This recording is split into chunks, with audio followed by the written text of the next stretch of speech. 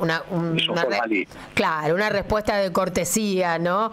Porque la verdad que cuesta encontrar en este momento algo o alguien que conteste bien. ¿No? Así es, efectivamente. Cuesta evitar enfermarse. hasta ese extremo no llega.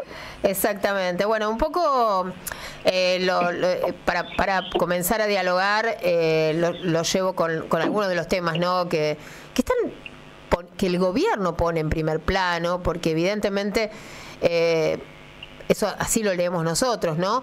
Eh, están haciendo crecer el internismo, lo que pasa entre Villarroel y Milei, lo que pasa entre el DIPI casero, la presencia de una mujer de, de, la farándula, ¿no? Esto lo digo entre comillas como Yuyito González, ya cerca del presidente, cuando están pasando cosas gravísimas en la Argentina. Eh, ¿Hay un poco una cortina de humo, le parece a usted, Leopoldo, con estos temas? ¿O tienen algo de cierto? No, decididamente yo creo que buena parte de todo eso, no digo todo, tampoco quiero jugar a ser adivino, pero creo que buena parte de todo eso es cortina de humo. Creo que forma parte de un diseño de marketing que usaron y con bastante éxito en la campaña electoral, que tampoco tal vez sea propio, yo creo que hay una copia de lo que vino ocurriendo en distintos lugares del mundo, con los que forman parte de la internacional de la derecha, que tiene un patrón común de conducta. Vos viste que acá últimamente se, se nos da por discutir demasiado, está bien, todo es bueno siempre discutirlo y reflexionarlo. Sí. Pero si Trump es parecido en sus políticas económicas a Milley, o si este, Vox y la discusión no es esa, la discusión es que hay entre ellos sí un patrón de conducta de las mismas características. Más allá de que uno sea más proteccionista, el otro sea menos proteccionista. Miguel no es proteccionista porque es una patria, es decir, está convencido de que los países, las naciones, las patrias no existen. Él asume que lo que gobierna es una factoría. Trump probablemente no, es una expresión de la derecha norteamericana, que es muy nacionalista, siempre lo fue, no es que el nacionalismo llegó de la mano de Trump. Ahora es un nacionalismo raro, porque son muy nacionalistas hacia adentro, pero hacia afuera avasallan cuando pueden y de la manera que pueden, a veces muy violentamente, la soberanía de los pueblos. Pero vuelvo a la, a la, raíz de tu pregunta. Yo creo que en buena medida esto, te reitero, forma parte de un marketing estudiado, tanto en su configuración como en la manera de, difundirlo. Está claro que también manejan y muy bien, y también es un fenómeno de la derecha, de la nueva derecha que gobierna estos estas centrales, manejan muy bien las redes sociales. Pues fíjate que no es, no es pura coincidencia que los grandes fondos de inversión se han transformado también a su vez en dueños de las tecnológicas de Silicon Valley, y todos los que están allí, a su vez tienen fondos de inversión. Es decir, antes los capitales se defendían con los ejércitos tradicionales, ahora se defienden con los ejércitos de Tron, o con las granjas de bot, o con la inteligencia artificial. Bueno, mi ley representa eso. Eh, y entonces imita esos comportamientos y a veces con bastante éxito le permitió ser el candidato y presidente de la nación. Sí. Con tanto éxito, Moró, que quieran seguir eh, destinando dinero, no destinando fondos a, a toda esa eh, a esos bots, a esa granja de trolls que tiene el presidente. y dos cosas, ¿no? Primero, la noticia de que volvieron los fondos reservados, volvió la CIDE, ¿sí? Eh, salió la AFI, ahí también eh, con, con, la impronta de Miley, y eh, la noticia de que van a destinar, ¿no? Miley le daría 100 mil millones de fondos reservados a, Santiago Caputo con la intención, trascendió de comprar un, un, canal y de, bueno, manejar más este, trolls, más bots. Sí, a ver Empecemos, como decíamos un amigo por el principio. Sí. El primer decreto de necesidad de urgencia que se conoció es el de la creación de una nueva estructura del sistema de inteligencia. Con cuatro patas, ¿no? Que, exactamente, que resucita la CIDE, con muy mal gusto, porque la CIDE es una sigla desgastada, desprestigiada. Hace un par de semanas atrás, la Corte Interamericana de Justicia condenó al Estado argentino por eh, el encubrimiento del atentado de la AMIA y, y señaló a la CIDE como principal responsable de ese encubrimiento, para que tengamos una dimensión del desprestigio que tiene esa sigla. Pero no es una cuestión solamente simbólica. Lo importante es lo siguiente. Dividieron en cuatro eh, la inteligencia. Como tienen esa vocación eh, colonial de parecerse a Estados Unidos, inventaron una CIA propia, la diferencia es que en vez de con C es con S, que es el sistema de inteligencia argentino, que tendría a su cargo la inteligencia exterior. Una agencia nacional de seguridad, también copiando la sigla norteamericana, para dedicarse a la inteligencia exterior, eh, perdón, interior. Y esta es la más importante, una agencia federal de ciberseguridad. ¿Por qué digo que es la más importante? Porque es la que allí, con otro de sacaron en el mismo día, el 615, la habilitan para hacer compra de tecnología en materia de inteligencia, para poder volver a intervenir eh, en el espectro radioeléctrico, hacer intercepciones telefónicas, volver a hacer lo que hacían antes, en la época de la CIDE menemista, que de alguna manera es lo que están replicando, pero mucho más moderna, porque hoy la inteligencia te permite no solamente ingresar en una casa y escuchar las conversaciones, aunque el celular esté apagado de una familia, sino que además te permite, cosa que no ocurría en la década del 90, porque esa tecnología no existía, no sé, seguir una persona permanentemente por la calle sin que la tenga que seguir un espía con chambergo y con diario debajo del brazo, sino con las cámaras de seguridad de una ciudad o de todas las ciudades, simplemente con enfocarte el rostro y en algunos casos hasta el iris del ojo. Y además la inteligencia artificial no tiene límites en la capacidad que tiene para hacer inteligencia, no tiene límites. Eh, yo creo que buena parte de esos recursos que han aparecido tan repentinamente, como si en este país sobrara plata, porque mi, ley no venía diciendo que no hay plata, esos recursos van a estar destinados fundamentalmente a esa área, es decir, al desarrollo de estas herramientas tecnológicas. Eh, que no tienen muchos oferentes en el mundo, hay tres o cuatro, Israel es uno de los más importantes. Eh, y después, bueno, hicieron una oficina de control interno. Ahora, más allá de lo que yo te pueda explicar sobre todo esto, la clave de la cuestión está en que lo hicieron por un DNU y una ley de inteligencia acá o en cualquier país del mundo se debate en el Parlamento. ¿Por qué? Porque lo más importante respecto a la inteligencia y también a las Fuerzas Armadas y las Fuerzas de Seguridad es el control democrático. Claro.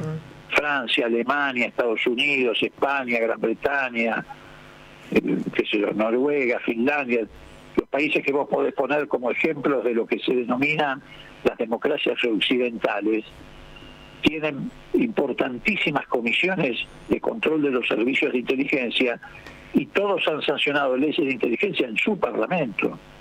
No se puede decir, se abre al debate público una ley de inteligencia, que es lo que se hizo en Argentina del 83 en adelante. Primero se debatió la ley de defensa, en la propia ley de defensa se recomendaba la sanción de una ley de inteligencia, la ley de defensa se debatió en la época de Alfonsín, fue el pilar, el punto de partida del pacto democrático, se votó casi por unanimidad, creo que fue uno o dos diputados no la votaron nada más. Después se votó en la época de Menem la ley de seguridad interior para ponerle el límite de la fuerza de seguridad y en la época de la Rúa se votó la ley de inteligencia, tres gobiernos absolutamente distintos. Es más, la de inteligencia se votó en diciembre del 2001, con el país absolutamente incendiado y convulsionado, y sin embargo se votó también casi por unanimidad. ¿Por qué estos tres sectores? Bueno, Fuerzas Armadas, porque veníamos de una experiencia de, décadas de golpe de Estado, y además porque son las que tienen el mayor poder de fuego, y si se vuelven contra el sistema político tenés un problema, acá y en cualquier lugar del mundo fuerzas de seguridad, porque Bueno, por la misma razón, porque además tienen la posibilidad de entrometerse prácticamente en la vida privada de los argentinos, etcétera, y la inteligencia, porque es el sector más oscuro, a diferencia de las Fuerzas Armadas y la Fuerza de Seguridad, que es más transparente, pero es el sector más oscuro que se mueve precisamente en las tinieblas. Entonces, con más razón tienen que tener control democrático, porque si cualquiera de estos factores se te desata contra la democracia, o los tres, o uno de ellos, tienes un grave problema institucional que seguramente termina con la pérdida de todos los derechos y garantías del ciudadano. Entonces se debate en el Parlamento. Este decreto de necesidad de urgencia es absolutamente inconstitucional. ¿Por qué? Porque no hay urgencia. Porque el Parlamento está funcionando, no está eh, de vacaciones. Y en tercer lugar, porque es irrazonable, absolutamente irrazonable. Es más, al haber dictado un decreto de necesidad de urgencia, te demuestran que necesitaban una ley. Y si necesitaban una ley, ¿por qué no la mandaron al Parlamento? ¿Cómo si el Parlamento en un Estado democrático no va a discutir una ley de inteligencia? Después te metieron el segundo pepazo, que es el decreto que le asigna 100 mil millones de pesos. A valores de hoy, al dólar de hoy, 105 millones de dólares. Leopoldo. De la noche a la mañana. Leopoldo, antes de entrar en el tema de la plata, que por supuesto que es sumamente importante, quiero, quiero entrar en un detalle que me gustaría que usted, que conoce tanto del tema, eh, me lo responda. Y es que leyendo el decreto que crea este, la CIDE con estas nuevas características, eh, yo lo que noto es que también vuelve ahí explícitamente marcado en el decreto la relación entre los organismos de inteligencia y el Poder Judicial. Y el Poder Judicial. ¿Es así? Así es. Relación que nosotros habíamos eliminado en el gobierno de Alberto Fernández haciendo modificación del artículo cuarto de la ley anterior, precisamente para evitar, y se evitó, que de ahí en más se mantuviera esa relación promiscua que tanto daño le hizo al sistema político argentino y a la democracia entre el Poder Judicial, particularmente para no generalizar como Doropi, de inteligencia, que fue lo que generó carpetazos, persecución, espionaje cubierto por jueces, causas donde te investigaban sin, sin que vos supieras que te estaban investigando, como en la época del Santo Oficio, bueno, muy bien. Efectivamente, yo no entro, por tal vez cometí el error de no entrar en un detalle de todas las objeciones que nosotros tenemos a ese decreto, que son muchas más de las que yo te acabo de señalar, pero esa es una más efectivamente restablece ese maridaje porque en uno de los artículos del decreto dice que a pedido de un juez con una decisión debidamente fundada puede pedir el concurso, el auxilio de, este, del sistema de inteligencia. Pero quisieron ir más allá. Le pedían a la Procuración en el decreto que la Procuración creara una fiscalía de inteligencia. Exacto felizmente Casal, yo no sé qué pasó, se avivó, se dio cuenta de que iban a meter a la Procuración Fiscal en un chanchullo fenomenal y se negó, hizo una resolución diciendo que no, no lo iba a hacer.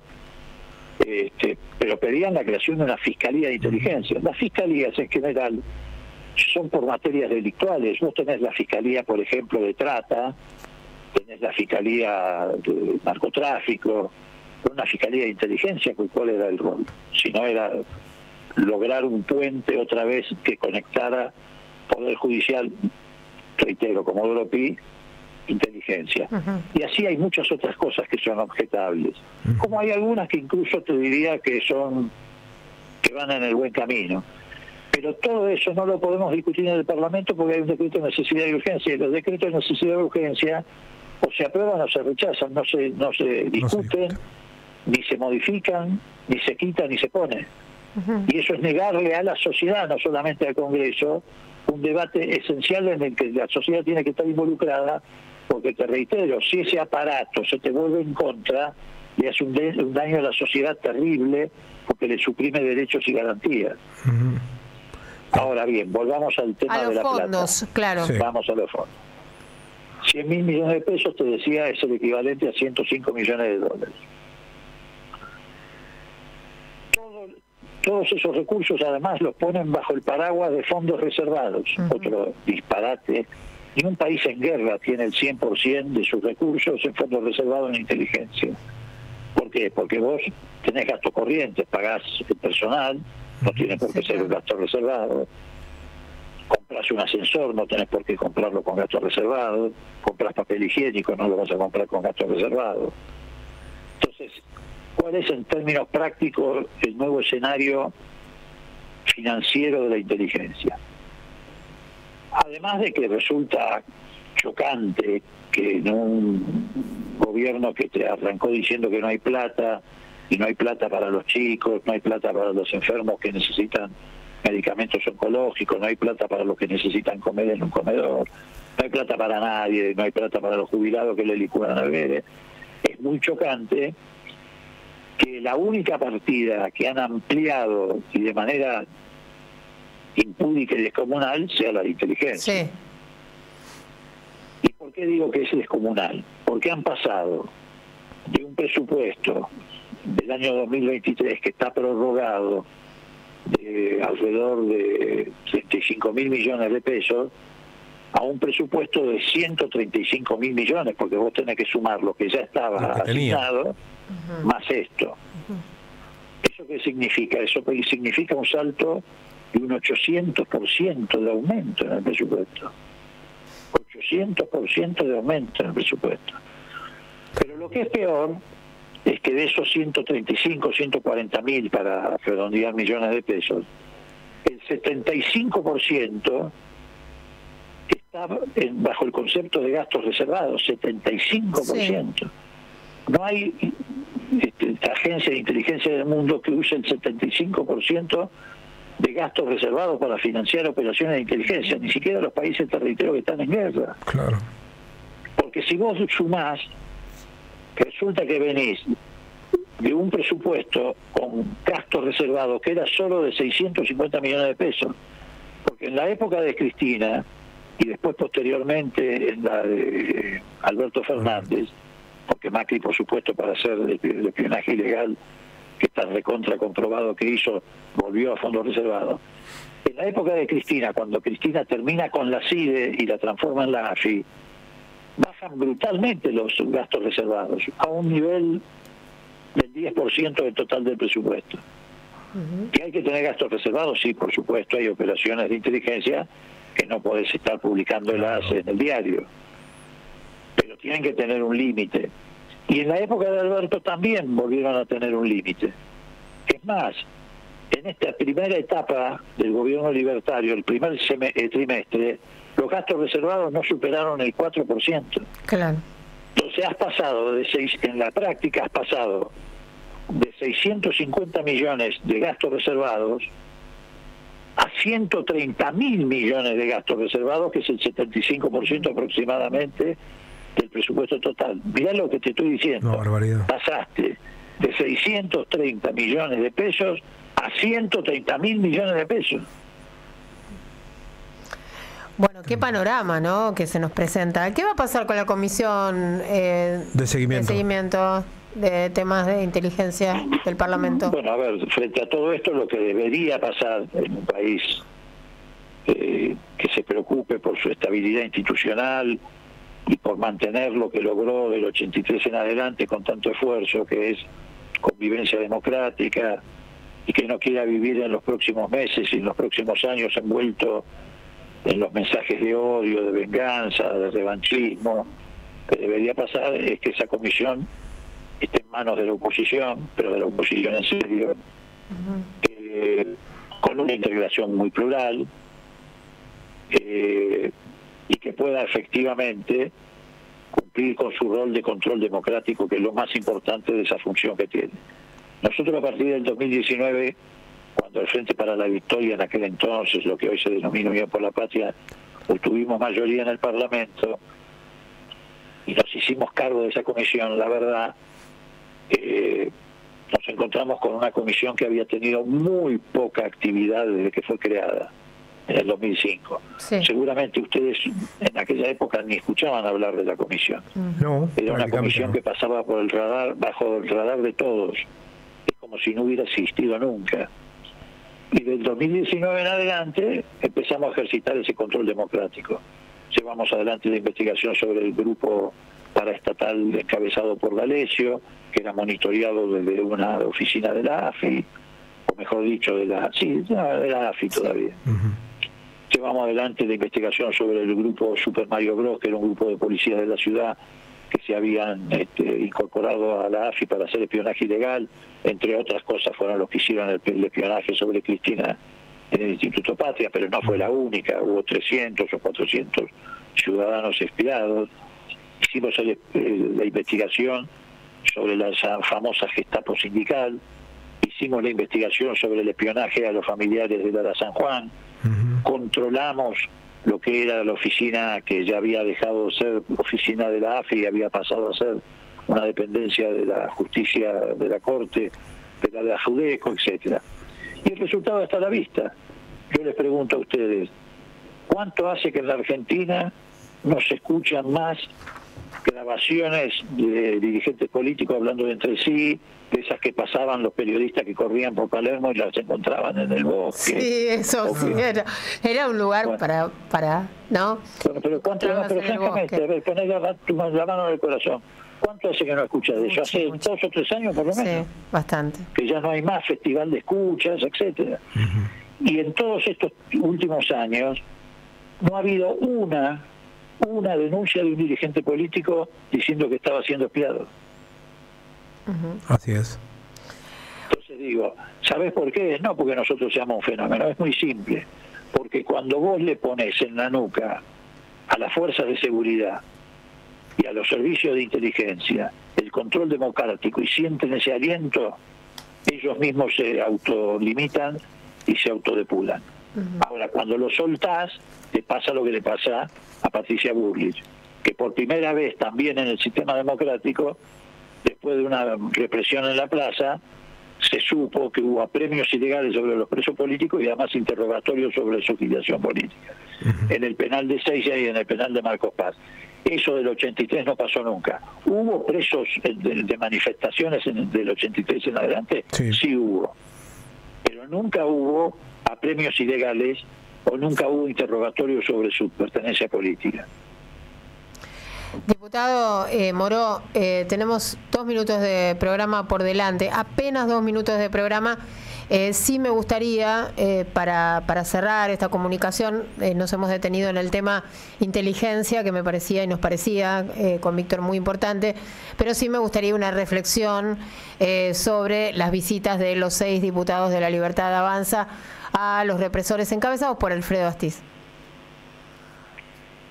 Ellos quieren reescribir la historia, eh, están llevando adelante también en esta materia una política planificada, no es un hecho aislado, esto hay que conectarlo con la decisión del ministro de Defensa Petri de eliminar la oficina que se encargaba de auxiliar a la justicia examinando los legajos militares se conecta con la decisión de debilitar el Banco Nacional de Datos Genéticos, al que quisieron hacer desaparecer y felizmente pudimos salvarlo en la discusión de la ley de bases en el Congreso, pero no sé si no lo van a desfinanciar.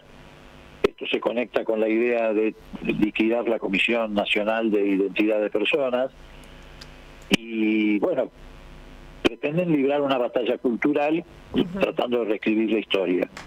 Eh, como han tenido éxito en la batalla política a través de las herramientas que usaron y consagraron un presidente como Milei, creen que pueden repetir lo mismo, en este caso revirtiendo la política que se llevó adelante en Argentina de memoria, verdad y justicia. No es solamente una visita, es parte de un plan. Vas a ver que dentro de poco van a tratar de desembocar en este, este tema diciendo de que quieren ejercitar derecho humanitario sobre ancianos. Y acá no está en discusión el derecho humanitario. El derecho humanitario ellos ya lo tuvieron cuando fueron juzgados por la ley, por jueces de la ley, con debido proceso, es decir, con todas las garantías y derechos que ellos no le dieron a los que tiraban de aviones, torturaban en los campos de concentración, los tiraban en fosas comunes, etcétera. El derecho humanitario lo ejercitamos nosotros. Bien. Diputado, le agradecemos mucho, como siempre. gracias, eh, gracias. Disculpe que me, entusiasmo y termino haciendo discurso. No, queremos invitarlo un día que venga acá al estudio. Sí, cuando pueda, lo esperamos acá. Eh, estamos dos cuadras del Congreso. Un abrazo. Leopoldo Moro estuvo conversando con nosotros un montón. ¿eh? La verdad vale la pena escucharlo siempre aclarando los temas de agenda Y nosotros nos vamos, Víctor, porque falta un minuto nada más para que termine la vuelta. Gracias a todo el equipo y nos reencontramos mañana a las 6. Mañana a las 18 en la radio de las madres, quédense, que ya viene Sandra Russo y Jugo de Limón. Tengo tiempo para saber